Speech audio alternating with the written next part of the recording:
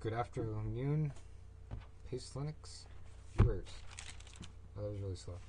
Anyway, excuse me as I flip through my notes. Today we're going to be checking out scalar data. Uh, this is part two of my Perl series. Uh, I do want to say a few things about my last video. I talked about if there is a GUI interface for Perl. There is a TK module. I will not be looking into that today, but possibly in the future for sure. Uh, let's see what else.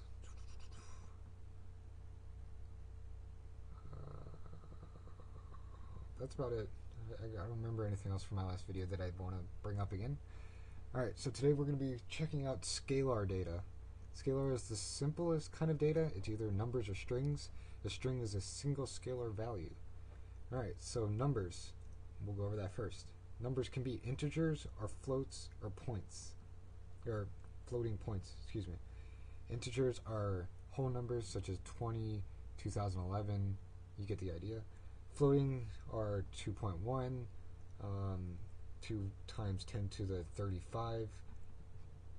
Floating points, laterals. Uh, lateral is a value that is represented in source code, excuse me. Um, they are not the results of calculations, so it's going to be, you know, the 2 plus 2, not the 4 in that equation. Um, integers, integers are whole numbers, and an example that I would like to show you is let's do 1 million. That is 1 million, correct? This is 1 million. This is the same thing in Perl. 1, 2, 3, 1, 2, 3. Those are exactly the same thing. Uh, I believe that was installed to make Perl a little easier uh, whenever looking at numbers. Alright. Also in scalar data, non-decimal integer laterals are also included, such as base 10, octal, hexadecimal, and binary. I won't be covering those today, but possibly in the future if it's a big demand. Um, numeric operators. So let's go into our Perl folder here, and I'm going to open up my software that edits my files, Vim in this case, and I'm going to open up oper Perl. It's just blank right now. Make sure you add this, this first line here, to tell that it is a Perl uh, application script. And we're going to do print 2 plus 3, and that's it. That's simple, correct? We all know that's going to equal 5. Now let's run in Perl. And what does it do? It equals 5. This is called a numeric operator since we are talking about scalars and strings, I shall show you something called a string operator. Numeric operators, string operators. You see right here, this is a single period. Period allows us to add in extra parts to our single line printout. So period, double quotes, new line. Now if we run this again, it allows us to print 5 and a new line. So it adds it both there. Another example of this is print hello dot, and let's put a space here, world. Now watch what happens. And I think I just, yeah, I did. Okay, there it is. That was weird. Alright, you see there? Prints the new world, and I forgot to put a new line. And see, it works. That's great. Now, you saw that I put here double quotes instead of single quotes. Now let's explore this if we change this to single quotes. And let's change that. I am not typing properly. What do you think will happen?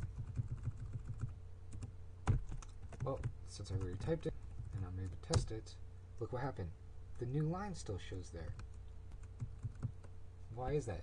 That's because single quotes take up all characters enclosed in the single quote. So putting in this new line prints that it's actually a new line.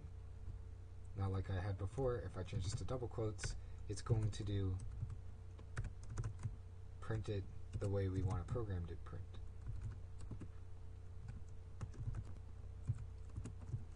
And just to test to show that that works, it works. Alright, so what does that mean double quotes are? Well, double quotes are variables inter, uh, interpolated, interpolated, excuse me, um, variables within a string that can be replaced and reused. Now, it doesn't really make sense now, but that means that we can insert extra data inside a double quote, such as this new line, that single quotes can't.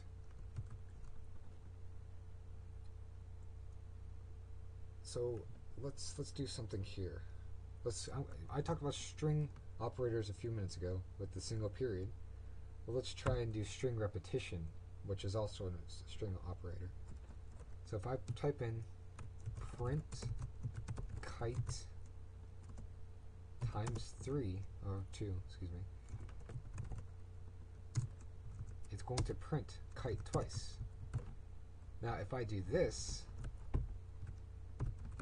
single quote this, put a number in front of this, and put a larger number in front of this, we will notice that Perl actually has automatic conversion between numbers and strings. Now watch what happens. See what it did here? Oh, I forgot to multiply it. Change this x to multiplication. Uh, which is the asterisk sign. You see what happened there? It multiplied it by 6. I mean, it equals 6. 3 times 2 is 6. Now, wait a second. How does this work, right? Well, that's because of the automatic conversion. Now, because we are the programmers of this program script, we know that that's going to work.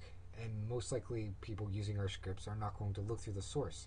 But if we did not understand this and we wanted to, you know, test out our code, there's this thing called the dash W, which is a warning.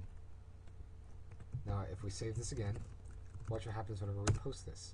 It says that the argument, 3 kite 79,000 or 100, isn't a numeric in multiplication at line 4. But because of the automatic conversion, we don't have to worry about that. So, we could just delete this and now we don't have to worry about it it equals 6.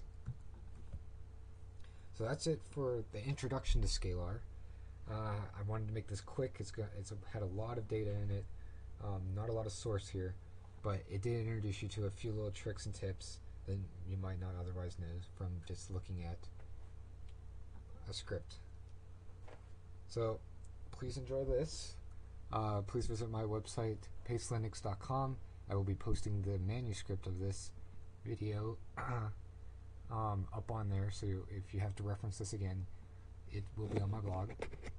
And I hope you're enjoying the tutorials. If you find anything that you would like me to improve on, please tell me. If there's something that you like or whatever, please comment that as well. Thank you.